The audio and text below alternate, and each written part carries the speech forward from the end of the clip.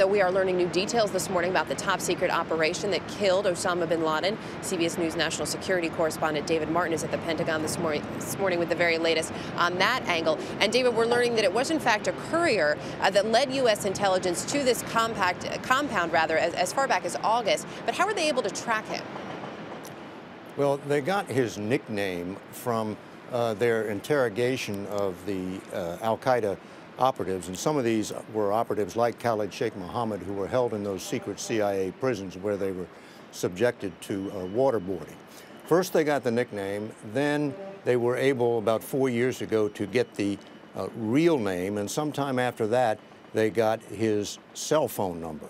So they started tracking the cell phone, but he would turn off the cell phone uh, anytime he got anywhere near uh, the compound. So for uh, some years, they were listening for this cell phone, and it never showed up in any place that would correlate with a compound. And then last summer, he made a mistake.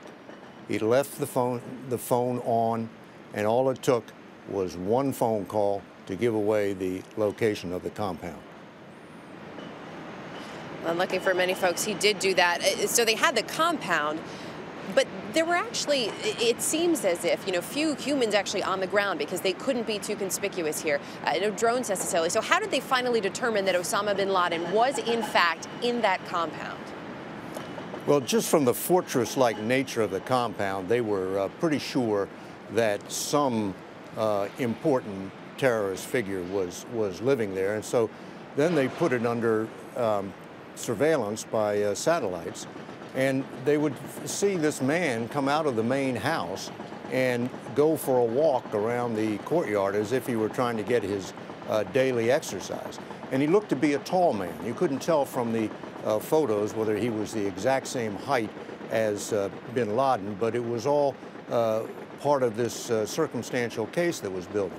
And they watched this compound day after day until they could identify three families the courier's family, his brother's family, and then there was this third family, which looked to be the same size as the family they thought bin Laden was living with. Another piece of circumstantial evidence. And there never was a smoking gun, but it just all this added up to uh, the U.S. concluding it is most likely that is bin Laden's hiding place. David Martin at the Pentagon. David, thanks.